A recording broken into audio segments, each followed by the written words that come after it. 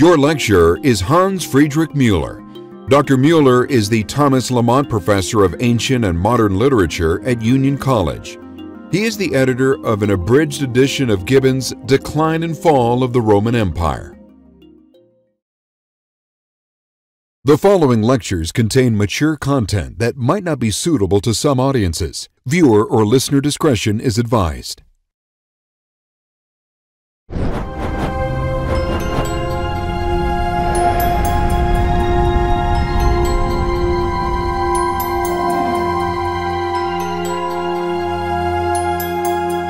Welcome, students of ancient religion and disciples of ancient cult practices. My name, through no fault of my own, it was applied to me at birth on November 14, 1959, in Columbus, Ohio, USA, is Hans Friedrich Otto Mueller. I'm also known to former Latin students as Molinarius and to Greek students as Melonikos. Müller, in the original German, Molinarius and Melonikos all mean miller, and I am indeed descended on my father's side from grain merchants, but on my mother's side from Scottish school teachers and Episcopalian priests. My father sold office furniture. I sell dead languages and teach ancient cultures.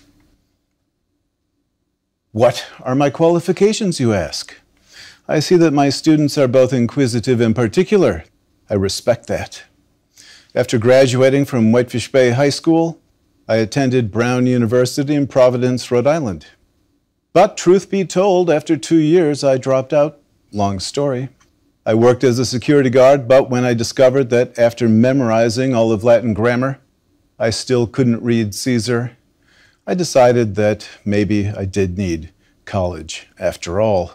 So I enrolled at the University of Wisconsin Milwaukee, where I earned BAs in German and classics Classics or classical philology is the study primarily of Greek and Latin, but also more generally of ancient Mediterranean literature, religion, archaeology, and history.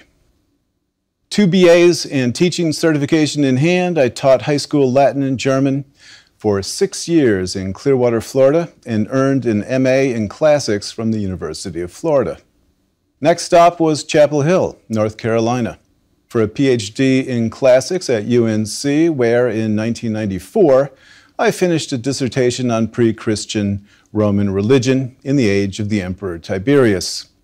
Subsequent stops included the Bavarian Academy of Sciences in Munich, the Florida State University in Tallahassee, the University of Florida in Gainesville, and for the last 15 years, Union College in Schenectady, New York. In short, I've been working in the areas of classics and ancient religion for a long time. And I'm excited to have this opportunity to reach a wider audience.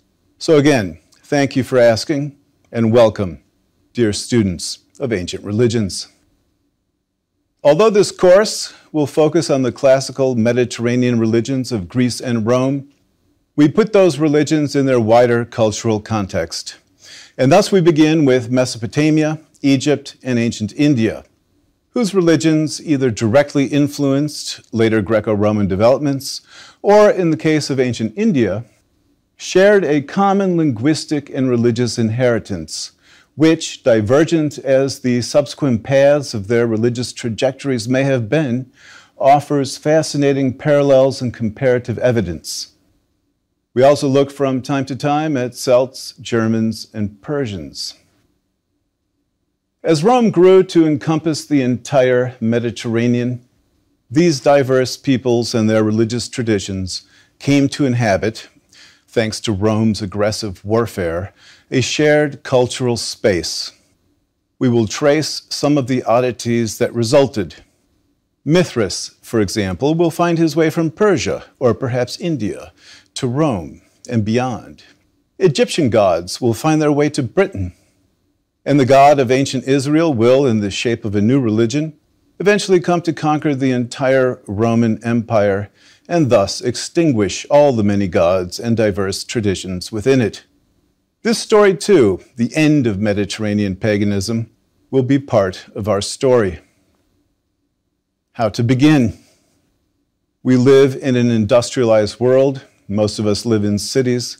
loud, electrified, concrete, glass, asphalt, cars, carpets, plastic. I live in the United States. I was born in Columbus, Ohio, raised in Milwaukee, Wisconsin, lived in the South for 20 years, and migrated to upstate New York some 15 years ago. I have seen bits and pieces of the larger world, from Australia to Greece, from Mexico City to Istanbul. I also know that desolated landscapes still exist. I've seen our western deserts, I've hiked through forests, I've seen picturesque villages and cities overseas where pedestrians can still navigate the landscape in relative security. Nevertheless, I submit the world where most of us live most of the time is dominated by machinery and noise. Nature is often hard to see and very hard to hear.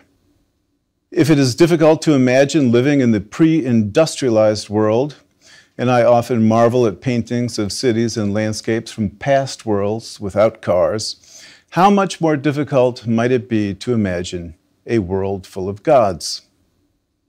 This is not to say that we do not possess portals to fabulous worlds. We have screens everywhere, in our pockets and on our desktops, from our homes to public spaces, bars, restaurants, and the gas pumps where we fill our cars. Images, voices, music beckon everywhere, and it is increasingly difficult to turn away. Now, imagine a world where machinery neither hums nor roars, where the endless worlds that we view through screens instead live around us in the world through which we traverse, where every tree, every door hinge can house a God, where the calls of birds before dawn communicate divine messages where an earthquake or a plague signifies divine anger, where the misshapen liver of a barnyard animal reveals in code hints about the future. A world where gods visit us in our dreams or perhaps even in person, but in disguise. This is a world where the gods, and there are many of them, live in close and intimate contact with us. A world where the whole face of nature can convey messages from gods whose presence is felt in the powers that they manifest, in lightning bolts or fire, for example, or the shades of the dead who can speak to us in dreams. This world is not our world, but the ancient pagan world, which we are about to enter and explore. But first, a word about the word pagan. Pagan is a derogative term invented by Christians to, to disparage polytheistic adversaries. Pagan derives from the Latin word pagus, or countryside. A paganus, or feminine pagana, was someone who lived in a rural district, not in the city where Christianity first flourished. For an urban Christian to call a non Christian pagan was the equivalent of calling someone a rustic a yokel, peasant, hillbilly, rube. It was never meant as a compliment. Heathen, which derives from heath or uncultivated land in the countryside, shows similar prejudice. At least idolator, or worshipper of images, is descriptive. What then, you ask, my dear students, should we call these people if we don't wish to hurl insults across the millennia at practitioners of long vanquished religious traditions? What did they call themselves? They did not have a name for themselves. They were simply religious, pious, reverent, or, if especially so, perhaps even superstitious. They practiced their ancestral faiths. They had no need for a name. Their religion was woven into all aspects of their daily lives as their gods were everywhere all the time. It was no easy thing to extirpate utterly ancient religious traditions. Think of most families.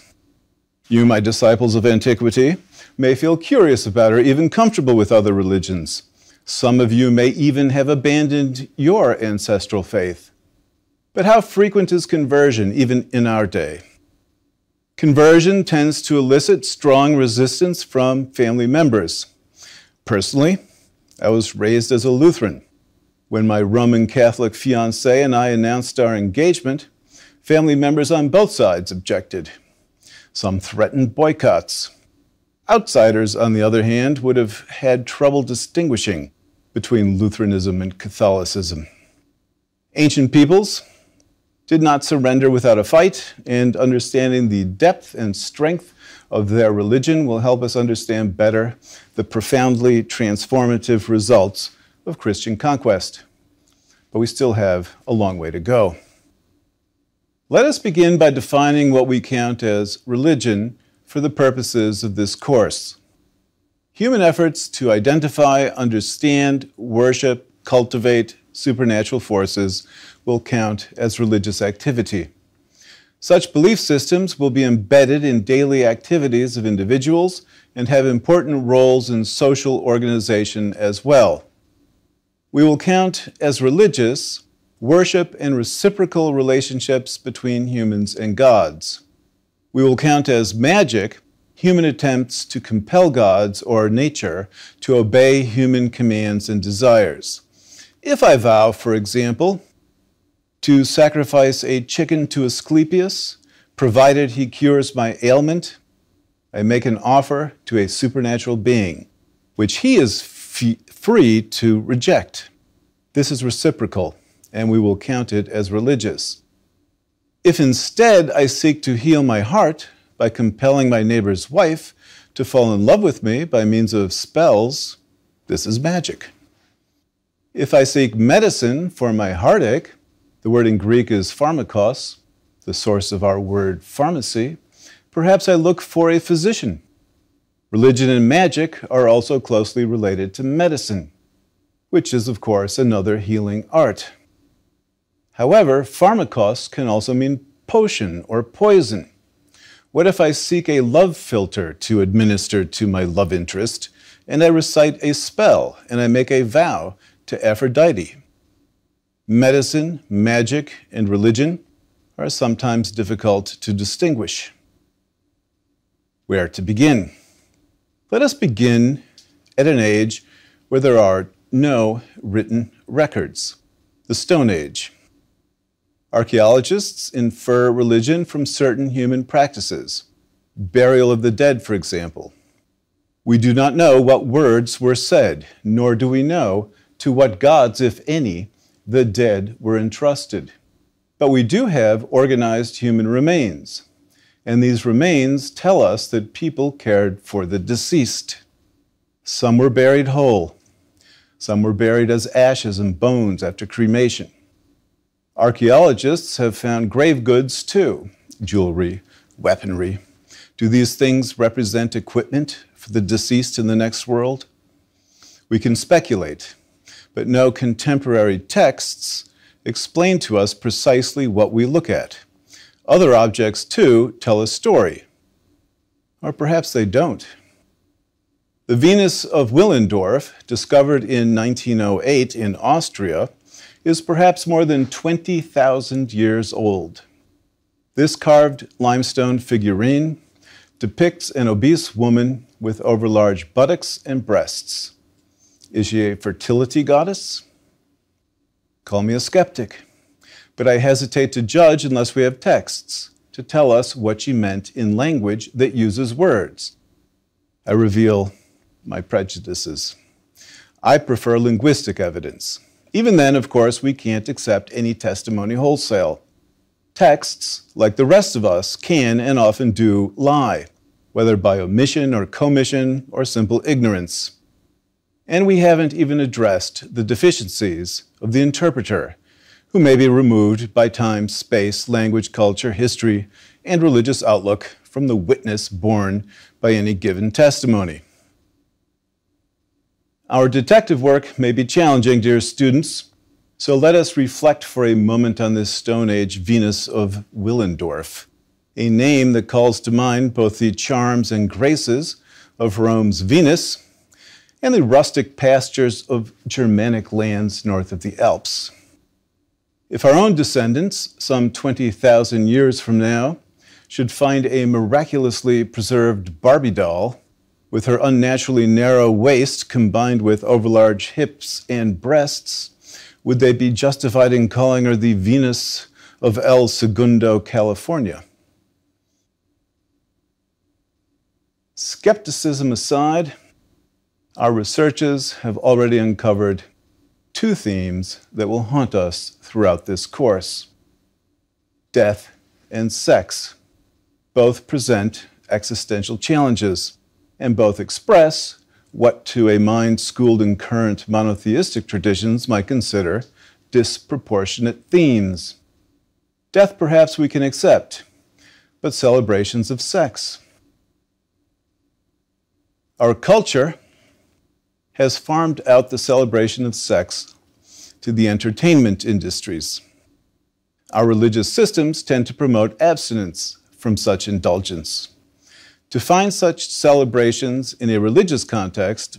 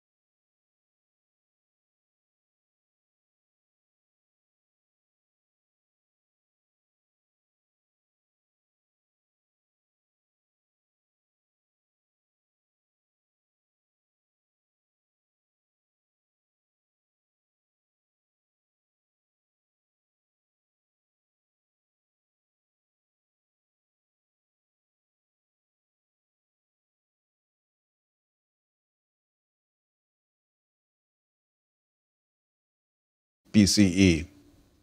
The Hebrews did not settle Palestine until the 1200s, and the house of David did not rule till the 900s BCE. The Hebrew Bible is early modern in comparison with these texts. And the Greeks and Romans, even closer to the present. We run roughshod over an array of civilizations. These empires rose and fell over millennia. But I hasten to introduce a text, the Enuma Elish, which tells the story of creation and will serve to introduce us to the mythology and religion of Mesopotamia a tradition that offers striking parallels with later mythologies and thus seems to have exerted a strong influence on them.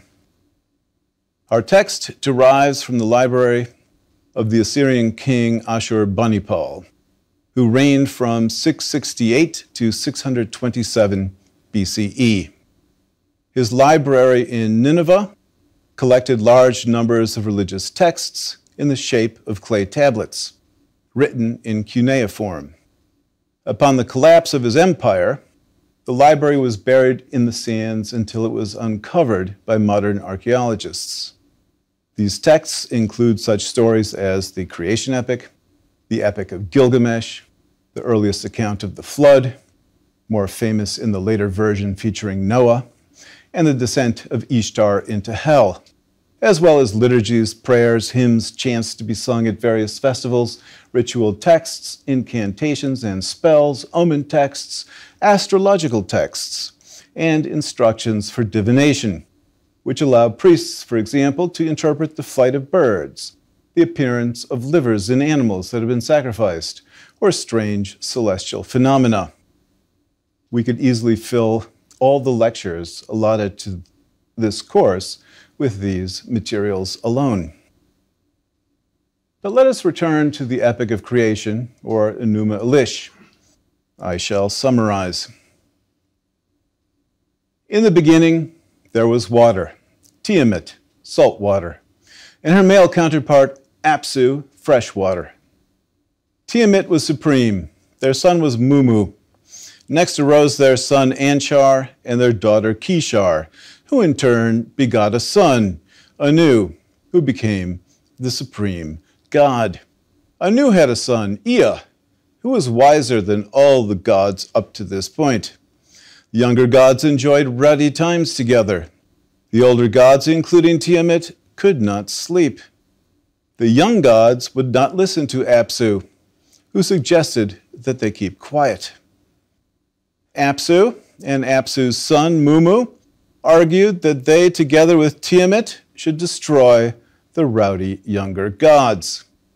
The plot was no secret, so Ea, the wisest god, created a magic circle to protect the younger gods, and Ea used a magic spell to render Apsu and Mummu defenseless. Ea killed Apsu and led Mummu around by a rope that he had placed through Mummu's nose. Ea then begot Marduk, who was superior to all other gods. Meanwhile, Anu kicked up some winds, disturbing Tiamat's waters. She became angry once again. Kingu, one of her children, again proposed destroying the disruptive gods, adding to their argument the need to revenge Apsu and Mummu. Tiamat agreed, and she created monsters and gave Kingu the tablets of destiny, that is, the power of Anu. Let us reflect for a moment. Much of these struggles we observe in this story revolve around who will be in charge? Who will set the decrees, control destiny? Who will be the boss? A perennial question. We could pause here and read the myth at this simple level. The myth mirrors humans' concerns. Humans struggle for power, the gods struggle for power. Human families do not get along, the gods do not get along. Or on a societal level, we see a political struggle for power, one group or one people versus others and their leaders. There's obviously a gender dimension. The leader of one group is female, and that of the other male. We neglect nature. We hear much of raging waters and winds. The gods are the air, the sun, the earth. perhaps we're dealing merely with metaphors for nature and storm. But let's not get ahead of ourselves as we rejoin the story. Ea informs his father and his grandfather Anshar that Tiamat, Kingu, and company are plotting the destruction of the younger gods. Ea and his father Anu are too scared to face Tiamat and Kingu. Marduk is then elected supreme commander in an assembly of the gods.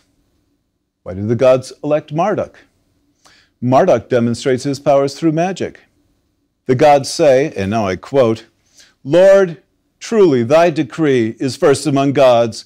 Say but to wreck or create, it shall be. Open thy mouth, the cloth will vanish. Speak again, and the cloth shall be whole.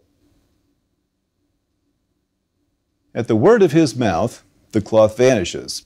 He speaks again, and the cloth is restored.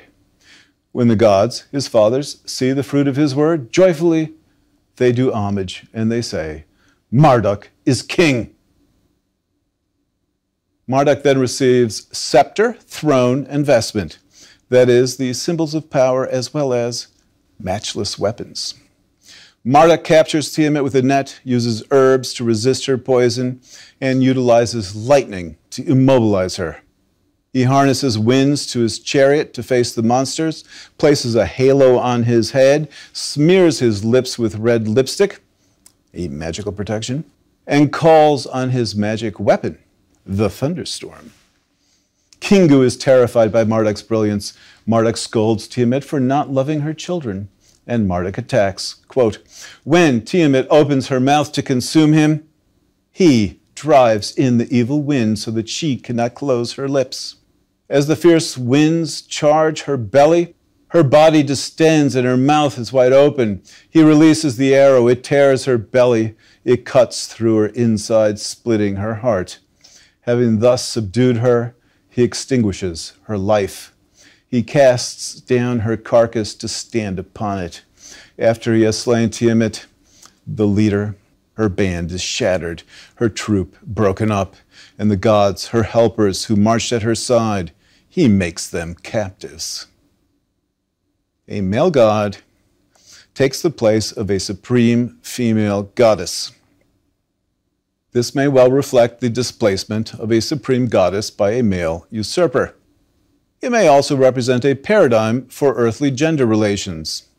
It is certainly violent. Let us return to the epic. Marduk tramples on the demons and takes the tablets of destiny and fastens them on his own chest. He mutilates Tiamat's body to create the earth, sky, and rivers. Quote, the Lord treads on the legs of Tiamat with his unsparing mace. He crushes her skull. When the arteries of her blood he has severed, the north wind bears it to places undisclosed. On seeing this, his fathers are joyful and jubilant. They bring gifts of homage to him. Then the Lord pauses to view her dead body, that he may divide the monster and do artful works. He splits her like a shellfish into two parts. Half of her he sets up as the sky. Marduk organizes the universe, distributes tasks to his followers. He turns demons into statues as memorials and warnings to those who would revolt. Marduk then turns to the creation of a temple to provide the gods with all their needs Babylon, Ea suggests killing Kingu and using his blood to make slaves for the gods. Blood will I mass and cause bones to be. I will establish a savage. Human shall be their name. Verily, savage humans I will create. They shall be charged with service to the gods, so that gods may be at ease. The Temple Babylon is completed, the gods gathered within its walls, celebrate. They receive the rites of religious worship and incense. We discover that the purpose of human beings is to worship the gods. But we may ask, do gods truly benefit from human services? The Babylonians seem to have thought so, as would many other traditionally religious peoples around the Mediterranean. Socrates and Plato will beg to differ. We will return to this topic. But for now, let us return to the epic. Marduk puts an end to the chaos of Tiamat, whose salt waters were originally mingled with the fresh waters of Apsu, that is, chaotically. Marduk has killed, cut, divided, and organized her parts. Her chaos is replaced by the order of Marduk. The simplest way to read this myth is that chaos, disorder, yields to cosmos, order. The identification of the female gender with disorder and the male with order is another pattern that will turn up again from time to time. The Enuma Elish is also a classic example of succession myth. One generation of gods supplants or succeeds the previous generation. We will see this again in the Greek poet Hesiod's Theogony, or Birth of the Gods. Eventually, Marduk emerges as the supreme god. The Enuma Elish is also an etiological myth. That is, it explains the aitios in Greek, which is to say the reason or cause of something. It explains the origin of the world, the divine hierarchy, the reason and purpose of human life, and the origins and purpose of religious worship. This epic of creation was also part of an autumn festival of the new year that lasted 12 days. The Enuma Elish was read during this festival, during which the high priest also stripped the king of his royal insignia. The king was slapped in the face, his ears were pulled, and he was made to kneel before Marduk. After this, his royal insignia were restored. If the slap made the king cry, Marduk was propitious. The king was then once more vested with his royal authority. In its own time, the Enuma Elish was thus a text that helped establish a religious context for the Babylonian state and its system. This creation epic explains the origin of the world, its organization, and humanity's place in it, and it provides an effective pattern by which to combat evil forces. Society, whether divine or human, selects a strong man, a divine king like Marduk. The king becomes the representative of Marduk, all human beings will have their place in the social hierarchy just as all gods have theirs. It all depends on who controls destiny, that is, who has the tablets. By the time the Greeks enter history, Mesopotamian religious culture has already long been a common inheritance of the Mediterranean. Although, as tends to happen when cultures borrow from each other, the culture that borrows adapts what it takes for its own purposes. For our own purposes, let us draw a first lesson. A text that may be read purely as a story, as myth, enjoyed deeper connections to the religion, rituals, and politics of the society from which it derives. These connections become clearer in historical context. To trace pagan religions will require us to keep track of history, at least to the extent that historical facts are available to us. Alas, we are out of time, dear students of ancient religions and cult practices. But when you return, we will visit ancient India, which enjoyed a long history indeed. Alas, that history is obscure what connects India to the Mediterranean, especially to Greece and Rome, is a shared linguistic heritage. Sanskrit, the language of ancient India, is closely related to Greek and Latin. And hidden in the words these languages share are common religious conceptions as well. We have a lot to discuss. But until then, may your studies as well as your nights and days be auspicious.